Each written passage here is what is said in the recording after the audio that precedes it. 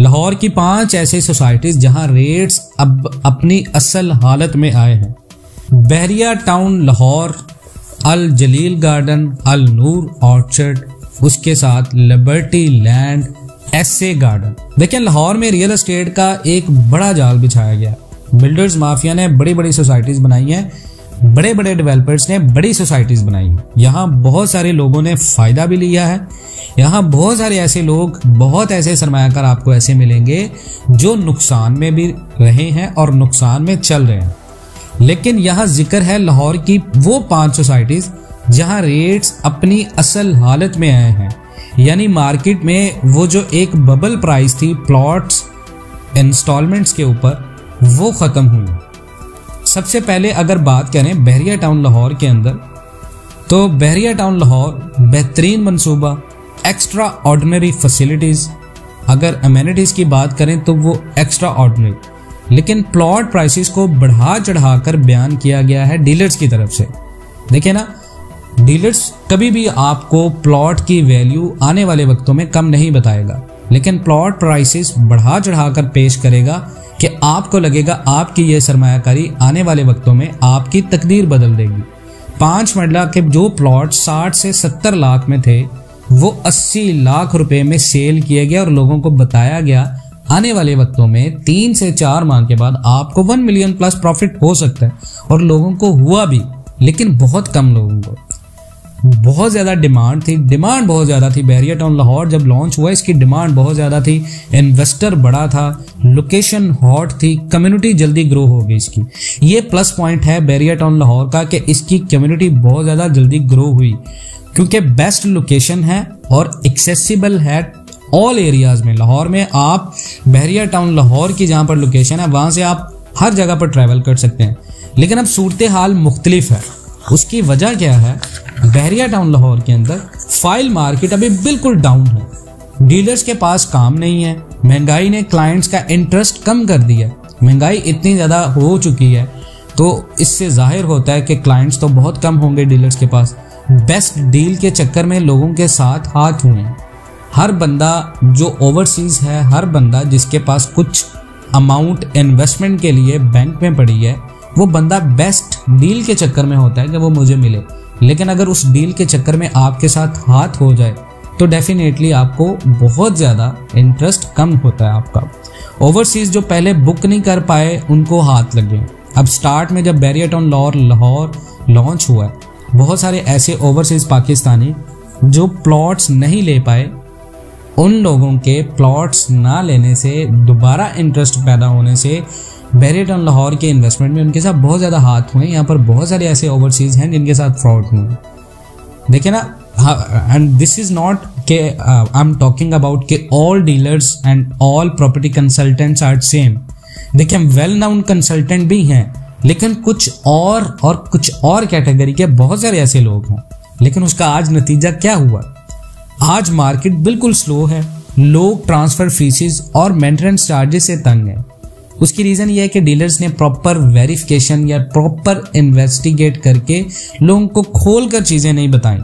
Barrier town महँगाई करेगा obviously देखें बैरियर टाउन का इसमें कोई कसूर नहीं है। अगर आप इस बात को देखें ऑब्वियसली एक्सपेंसिव कॉस्ट हैं। आप अगर देखें, आपके मुल्क के मुआशी हालात ठीक नहीं है, मुल्क के पास डॉलर्स नहीं है, मुल्क के पास अपने एक्सपेंसेस कवर करने के लिए सरमाया नहीं है। तो ऐसे में एक ऐसी सोसाइटी जो आपको अच्छी खासी फैसिलिटीज़ दे, आपको बेहतरीन किस्म की फैसिलिटीज़ दे तो वो अपने एक्सपेंसिस कवरेज को कवर करने के लिए महँगाई करेगी और वो चीज़ें एक्सपेंसिव होंगी। आप पाकिस्तान के किसी भी बैकवर्ड एरिया में जाएँ तो वहाँ भी महँगाई का असर हुआ। वहाँ पे जो चीज़ चालीस रुपए में थी, वो साठ में आई है। तो ऐसे में बहरिया टाउन लाहौर जैसी सोसाइटी में रहते हुए इस बात की एक्सपेक्टेशन करना है कि आपको चीज़ें वही रेट पे मिलें तो मेरे ख्याल में ये सिर्फ़ खाम ख्याली है। लेकिन क्लाइंट्स रेशो आप देखें तो बैरिया टाउन लाहौर में बहुत ज़्यादा कम हुई है। प्लॉट्स के मुकाबले घर ज़्यादा सेल हो रहे हैं। लोग प्लॉट्स की तरफ़ नहीं आ रहे, लोग फिनिश प्रॉपर्टी की तरफ़ जा रहे हैं। उसका सबसे बड़ा वजह यह है कि पाकिस्तान के अंदर इन्फ्लेशन है और इन्फ्लेशन में हर बंदा चाहता है कि उसकी जो भी इन्वेस्टमेंट हो, उस इन्वेस्टमेंट से उसको इनकम जनरेट हो रेवेन्यू जनरेट हो। तो डेफिनेटली लोग प्लॉट्स के मुकाबले में घर खरीदेंगे। प्राइवेट बिल्डर्स ने कुछ ओवर सेलिंग की है। बहरिया टाउन लाहौर के अंदर आपको बहुत सारे ऐसे मंसूबे मिलेंगे जो प्राइवेट बिल्डर्स की तरफ़ से हैं। और प्राइवेट बिल्डर्स ने अपने मंसूबे इतने ज़्यादा फैला दिए हैं जो कि नामुकम्मल हो रहे हैं। यानी अगर आप क्यू लिंक्स की बात करें, उनके हर जगह पर मंसूबे हैं, लेकिन मंसूबों को मुकम्मल नहीं किया जा रहा। इट्स नॉट मीन के वो लोग फ्रॉड करें। That's not mean that's what I am talking what I am talking is के बहरिया टाउन के अंदर प्राइवेट बिल्डर्स ने इतने मंसूबे बना दिए हैं कि वो मंसूबे पे मंसूबा अगर लॉन्च करेंगे तो प्रीवियसली मंसूबे के ऊपर उस तरह डेवलपमेंट नहीं हो पाएगी। तो वो डेवलपमेंट ना होने से डेफिनेटली मार्केट स्लो होगी, लोग इरिटेट होंगे, लोगों का कॉन्फिडेंस नहीं आएगा। ये है बैरिया टाउन लाहौर की। अगर आप बात करें अल जलील गार्डन की तो अल जलील गार्डन में ऐसे बहुत सारे ब्लॉक्स आपको मिलेंगे जहाँ पर लोगों ने इन्वेस्टमेंट की, उनके इन्वेस्टमेंट आज तक माइनस में चल रही है। और लोगों को ये कहा जा रहा है इंस्टॉलमेंट प्लान मुकम्मल होने के बाद भी लोग अपने प्लॉट्स के लिए वेट करें। तो डेफिनेटली लोगों का इंटरेस्ट कम होगा मार्केट के अंदर। प्लॉट्स की डिमांड कम होगी। सप्लाई जब नहीं होगी तो डिमांड कम ज़्यादा नहीं होगी। देखिए इंस्टॉलमेंट या फ़ाइल के मार्केट में कभी भी डिमांड ज़्यादा नहीं होती। यहाँ पर डिमांड तब होती है जब मार्केट ऊपर जाती है।